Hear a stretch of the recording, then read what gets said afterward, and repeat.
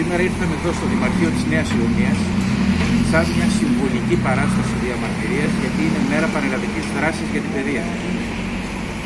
Το διάστημα αυτό, μέσα στη δεύτερη καραντίνα, η κυβέρνηση προωθεί το νομοσχέδιο για την επαγγελματική εκπαίδευση και κατάρτιση.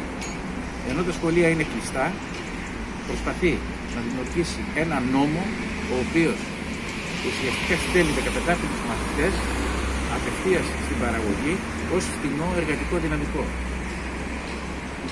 Διαμαρτυρόμαστε επίσης για τις προσλήψεις που μπορούν να κάνουν σε τοπικό επίπεδο οι διευθύνσεις εκπαίδευσης. Όχι με την ευθύνη του αλλά με την ευθύνη του δική του. Ουσιαστικά για να καλύψουν κενά τα οποία έχουν δημιουργηθεί κατά την περίοδο της σχολικής χρονιάς.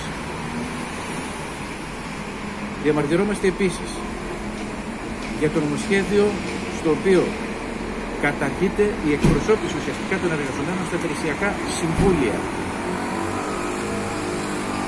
Διαμαρτυρόμαστε για τον προπολογισμό ο οποίος έχει κατατεθεί και ουσιαστικά προβλέπει μείωση των δαπανών για την παιδεία.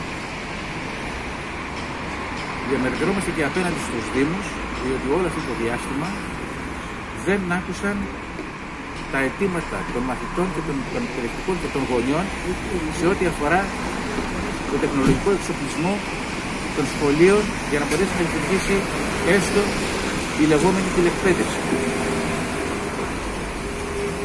Ζητάμε να ανοίξουν τα σχολεία σύντομα, παίρνοντας όλα τα απαραίτητα εκείνα μέτρα για την υγιεινή και ασφάλεια μαθητών και εκπαιδευτικών για να μπορέσει να λειτουργήσει σωστά η εκπαιδευτική διαδικασία.